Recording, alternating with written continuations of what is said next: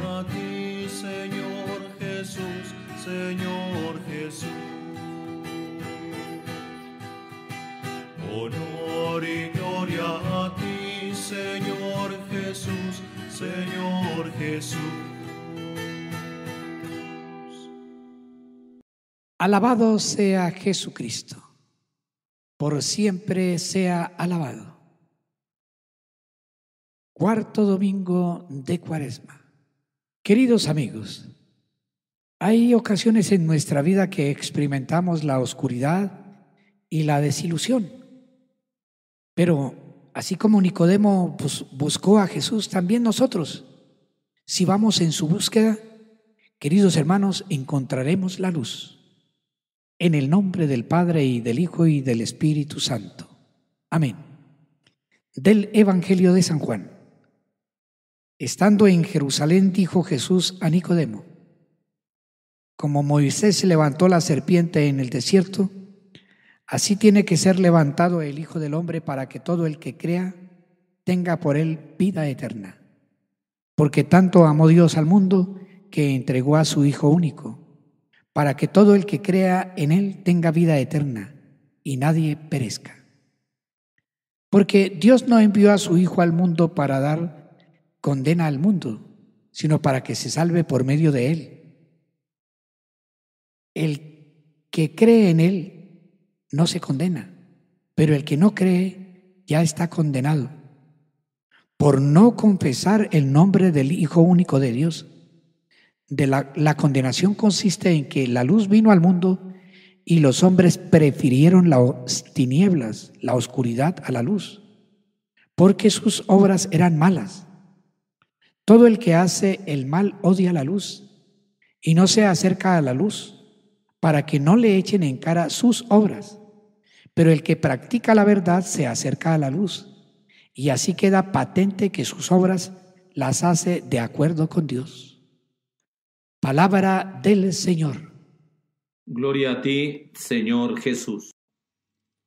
¿Qué tal, hermanos? Un feliz domingo para todos. Que la paz de Cristo llene sus corazones.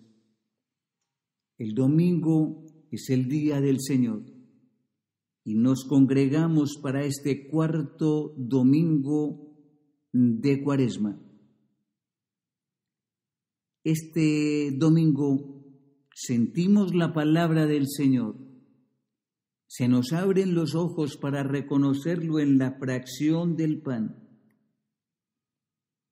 Y sentimos el calor del fuego del Espíritu del Señor resucitado en la hermana y en el hermano que está a mi lado, celebrando conmigo el misterio de la fe. El domingo se nos propone a nosotros como el día del descanso, es decir, no es el día de las actividades normales de la semana, sino que es el día que se santifica consagrándole a Dios lo que somos, lo que tenemos. Es el tiempo para escuchar propiciamente esta palabra, palabra de misericordia, de bondad, palabra de compasión que Dios nos está dirigiendo porque nos ama. El domingo es el día para sentir la presencia de Dios en nuestra vida, de un Dios que nos habla, y de ahí la disposición para escuchar esa palabra. Domingo también es el día de situarnos ante el altar invitar a todas las personas, a todos los que me están oyendo, a todos los que me están siguiendo, para que hagamos del domingo el día de la comunión. Dios que se nos vuelve pan, para que nosotros no desfallezcamos de hambre por el camino. Come de este pan, bebe de mi sangre, tendrás vida nueva. Y el domingo es el día de la alabanza en la comunidad nos congregamos como iglesia, como pequeña comunidad, nos congregamos en la liturgía para vivir el misterio de la Pascua. Anunciamos tu muerte, proclamamos tu resurrección. Ven, Señor Jesús.